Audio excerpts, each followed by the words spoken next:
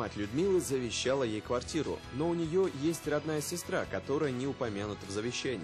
Как лучше сделать матери? Оставить завещание или оформить договор дарения на дочь, чтобы потом ее сестра имела право на квартиру? На вопрос отвечает нотариус Елена Букарина. Человек, у которого имеется квартира, может ее завещать, но он должен понимать, что завещание вступает в силу только после э, смерти. До смерти человек может распорядиться этой квартирой, он может изменить завещание, составить новое, либо просто отменить завещание, тогда будет наследование осуществляться в соответствии с законом. Если же э, собственник квартиры подарит эту квартиру, то он лишается прав на эту квартиру.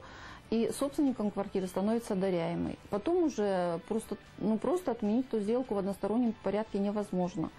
Поэтому здесь нужно подумать очень хорошо, дарить эту квартиру или либо же оставить завещание.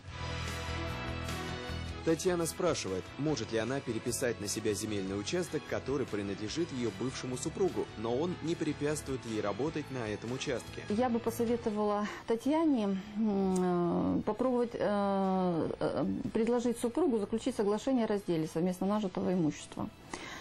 Но опять же только при условии, если они это имущество не делили в судебном порядке, либо э, ранее не заключали соглашение.